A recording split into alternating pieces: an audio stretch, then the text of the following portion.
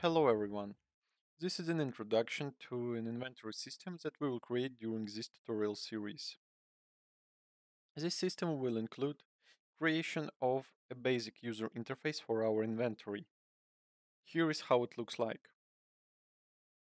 Our inventory will contain an equipment slot.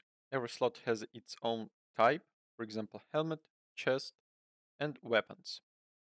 Also our inventory will be split into parts will different items will be stored in different sections. As you can see, weapons are stored in weapons section and food stored in the food section. Some of the items can be stacked into stacks, like we can store 50 apples in one slot, when weapons cannot be stored in stacks.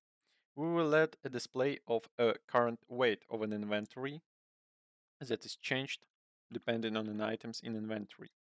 We will add a possibility to remove items with our keyboard button that we will add for debug and we will add a display of progress bars below items that will show their durability or their quality.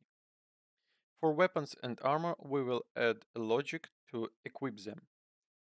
Weapons can only be equipped in weapon slot, and weapon cannot be equipped in any other slot. In this system we have two slots, so we can equip second weapon here.